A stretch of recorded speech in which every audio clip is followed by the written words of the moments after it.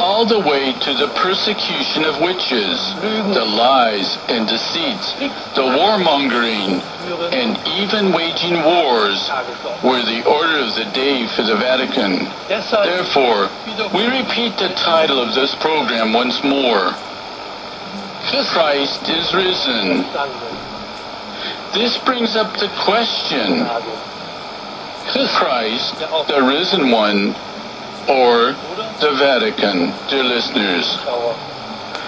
What we heard is not merely horrible, it is frightening. This is why we need the free spirit.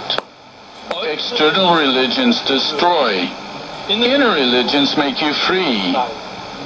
It is the free spirit of Jesus of Nazareth.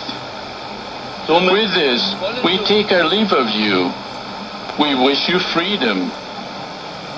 Goodbye. This is IRRS Shortwave, the Italian radio relay service in Milan.